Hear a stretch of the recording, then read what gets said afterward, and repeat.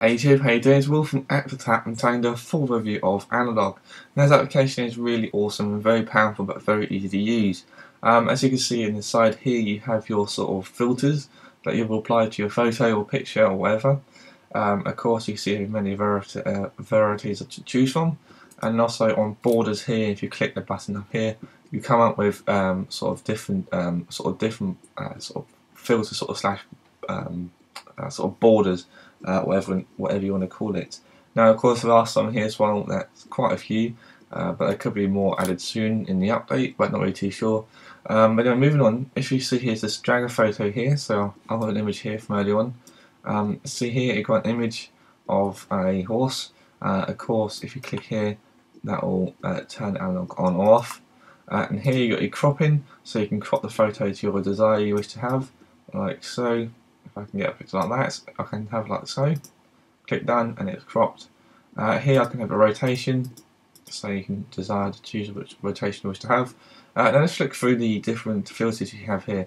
You can choose from boost, gold hour, NOR, sorry I don't know that properly, it's quite nice, uh, NOR, purple haze, uh, Nikulula, one that says X process, um, uh, and then brown Betty, you got Dark Knight, you got uh, Hefka, uh, Kuto, uh, Haskanti, I don't know, Luma, uh, Hawkeye, um, you've got Someday, uh, Red Scale, uh, Image, uh, Toybox, Memory, it's quite nice, uh, and you got Sand Girl. Um, I quite like the Golden Hour, and let's go on to Borders. So see I've my little borders here, so you have your um, sprocket, uh, your black, uh, your white, your uh, sorry, your view, uh, your sort of uh, view square, uh, retro, retro square, Fuji, Fuji square, roll, contact, um, paper, and darkroom. Now I'm going to choose the one I wish to choose from, so I'm going to go for retro, so it's pretty nice indeed. Uh, if you want to re-edit the crop size because it doesn't really fit the actual scale at all, you can do so by like this. Uh, if I can get this.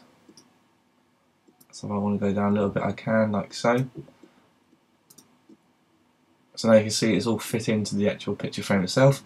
So once you've done that, and you go up to the top here where it says analog and all these different um, file edit share view window and help, uh, you're going to go and press uh, sorry, you're going to press share, and of course going to go and press uh, send to email, Cloud App, Facebook, Flickr, Pixar or Tumblr, or you do it really easy, you can go down to the bottom here and press the share button here, it comes up with different various options here as well.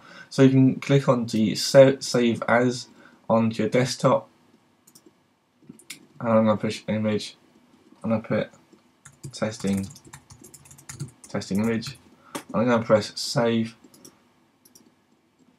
and once it's saved you double click it to open it.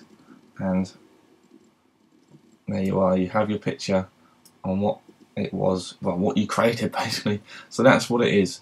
So that's really good and it's very easy to use and it isn't really too you know ain't too confusing to be honest.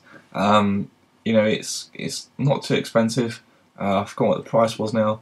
Stupid me. But um, the price is about um, you know, in the in a range of one pound, something like that.